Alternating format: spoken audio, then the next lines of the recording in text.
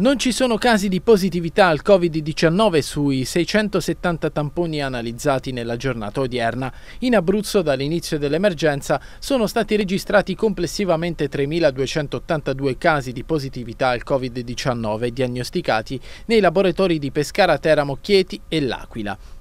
Altra notizia positiva è che non si registrano nuovi pazienti deceduti. Il totale è fermo a 460, invariato rispetto a ieri. 2.431 sono i dimessi e guariti, 2.318 le persone negative a due test consecutivi.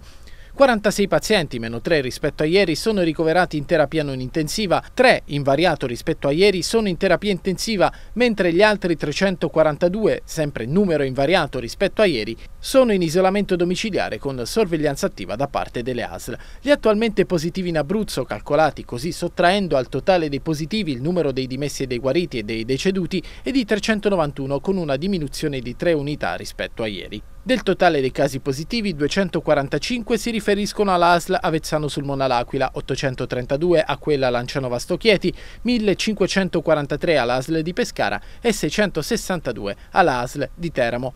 Dall'inizio dell'emergenza coronavirus sono stati eseguiti complessivamente 99.976 test, di cui 93.861 sono risultati negativi.